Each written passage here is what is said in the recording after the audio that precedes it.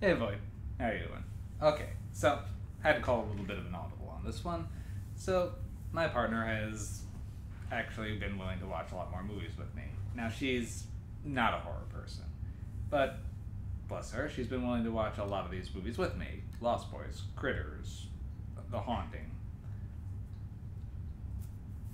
uh, a few others that are upcoming still, actually, and. Uh, Oh, Poltergeist. You watch Poltergeist too. So, but uh, it's starting to wear a little bit on her. So while I'm still trying to get through as many movies as I can this month, sometimes, well, she needed a little bit of a break. But I was able to find a compromise, and this one wasn't on my original docket, but it's never a bad time for Young Frankenstein. Still fits the bill kind of for the month. I know it's not strictly a horror film, but it works as a Halloween movie. So I'm counting it. I'm taking it no one can tell me otherwise.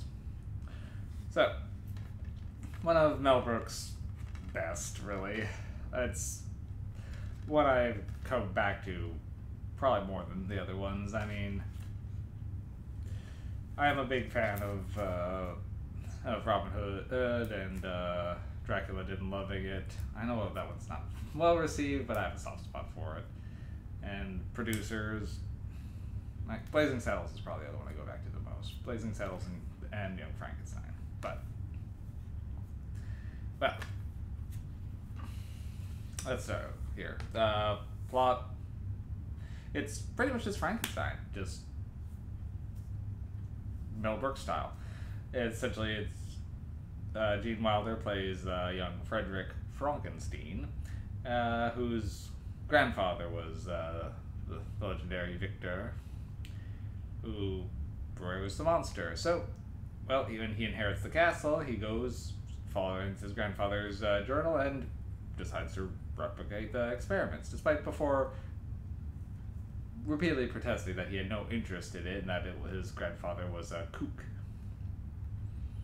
Well, he's met by the Hunchback assistant Igor, played by brilliantly by Marty Feldman, and uh, his new lab assistant, the beautiful Inga.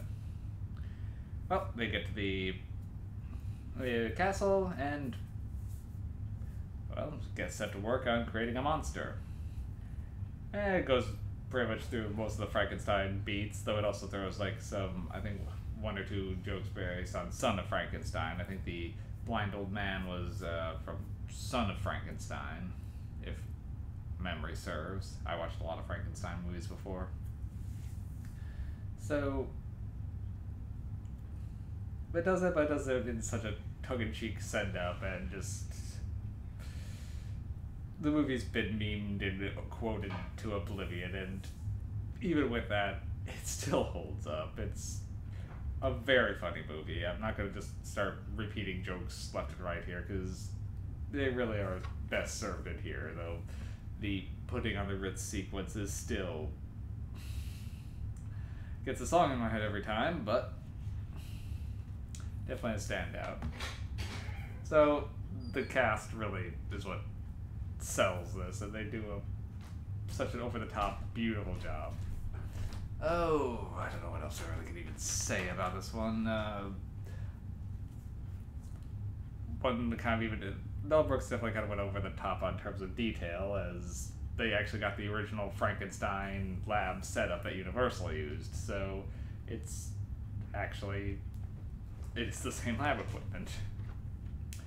Um, it's, reviews like this tend to be short because, yeah, movies like this, a really good comedy, you have to see. You can't just describe. Like a horror, you can go over the basic plot line and still get something out of it later. But for one like this, you have to see it, and I do highly recommend it. It's for me, it's nine MacGuffins. It is a very well done movie you, you can't go wrong with, Mel Brooks in general, and this is definitely one of his strongest. So, highly recommend it.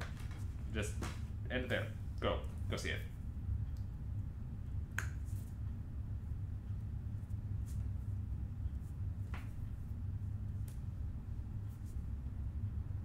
Yeah, go.